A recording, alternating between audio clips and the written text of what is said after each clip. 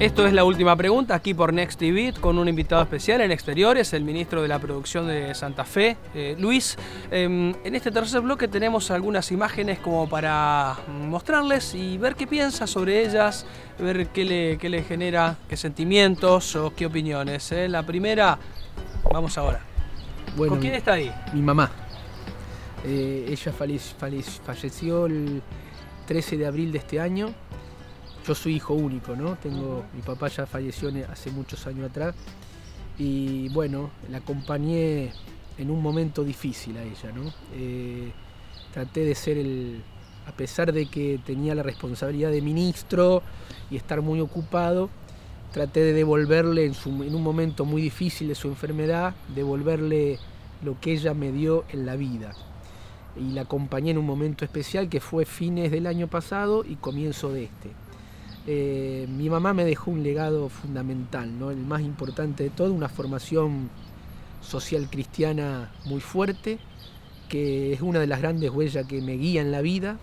Tuve después en Rosario, gracias a eso, posibilidad de formarme en ambientes jesuitas que me han eh, ayudado a, abrir mi cabeza, a profundizar mis pensamientos y reflexiones. Eh, todo eso se lo debo a mi mamá. Mi mamá era una mujer de trabajo, de sexto grado, trabajó toda su vida y bueno, la acompañé bien eh, en un momento difícil. Sé que está eh, donde ella quería estar porque era una mujer de mucha fe y, y yo la acompaño desde acá. Qué bien, qué, qué reflexiones que nos cuenta sobre lo que genera una, foto con su madre y entender rápidamente muchas veces, muchas veces los conceptos que ustedes generan en unas entrevistas o en conferencias de prensa. A partir de lo que usted declara acá, de esa relación, esa formación con su madre y la educación que ha recibido, se entiende muchas veces por qué sus opiniones. ¿eh? La segunda imagen, el biodiesel, una crisis reciente, a partir del cierre del, de las exportaciones a Estados Unidos, o en realidad no cerraron las exportaciones, pero aumentaron los aranceles para enviar productos allí. Santa Fe es una provincia líder, ¿no? Eh, Producimos el 80%. Dos millones y media de toneladas de biodiesel produce la Argentina, de las cuales un millón va al mercado interno en el corte con el gasoil y un millón y medio mandábamos a Estados Unidos. El 80% de todo eso eh, se produce con 19, 20 empresas en el sur de la provincia de Santa Fe Mucho empleo. mucho empleo, cuatro mil y pico trabajadores en toda la cadena de valor. Bueno, eh, Y empleo calificado. empleo calificado. Hay que decirle a la, au- a la audiencia que el biodiesel es un producto de alto agregado de valor. Viene el poroto, la harina, el speller, el aceite y del aceite viene el biodiesel. O sea, en la cadena oleaginosa es uno de los productos eh, muy lejos del poroto, de soja, y de mucho agregado de valor. Una industria joven, de economía verde, bajo la concepción de la economía verde. Bueno, una situación muy difícil. Con el gobernador nos pusimos rápidamente arriba de este problema, nos estuvimos reunidos con las cámaras y los empresarios, hicimos gestiones con el gobierno nacional, ahí solicitamos eh, que se ponga arriba eh, con firmeza el gobierno nacional con las gestiones en la Unión Europea, porque hace del año 2013 que Argentina diplomáticamente viene reclamando la apertura del mercado europeo, ojalá que a fin de septiembre, como todo indica, eso se reabra.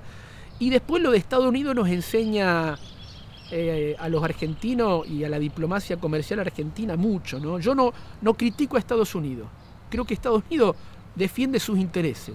Lo que estoy diciendo yo es que tenemos que mirar eso para entender que en el mundo hay intereses. Que la oferta y la demanda, el libre comercio, muchas veces en este mundo es más una, un anhelo, un deseo que realidad. Que la realidad del mundo hay poder, intereses y que lo primero que tiene que entender un país es saber cuáles son sus propios intereses para después negociar, después hacer alianzas. Entonces, eh, eso creo que nos enseña Estados Unidos. Hay que diversificar los mercados, pero además es una oportunidad esta crisis para que nos animemos a ampliar el corte interno y meter un millón más de toneladas eh, que la propuesta que le hizo Santa Fe a la Nación. Un millón más de toneladas en el mercado interno que nos permita eh, absorber parte de la producción que no se va a exportar, pero además, además apostar a una economía verde, a la sustentabilidad ambiental y demás. Esa es la propuesta que le hicimos al gobierno nacional.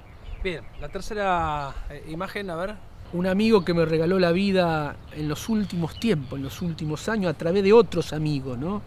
Eh, por ejemplo, Sergio Buchara, que es un coordinador del gabinete de mi Ministerio de la Producción. Me estoy refiriendo ¿no? al Pepe Mujica, al, expresidente de Uruguay.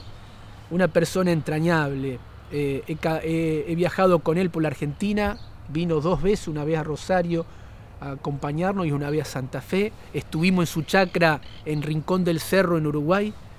Eh, chacra muy modesta. Muy modesta, una chacra de pocas hectáreas, y con una, una austeridad enorme. Y recuerdo una de sus tantas charlas decirnos algo muy fuerte, ¿no? Diciendo, éramos cuatro personas y él, nos llegó a decir en un momento dado, estamos hablando de filosofía, de política, porque Mujica un tipo muy leído, ¿no? Un, hombre, una historia impresionante, y, pero muy formado, muy leído. Y veníamos hablando de todo, ¿no? Y en un momento dice, muchachos, si ustedes se quieren dedicar a la política, olvídense de los negocios. Si a ustedes les interesan los negocios, dediquen a hacer plata y sean empresarios, no se metan en la política. La política es pasión.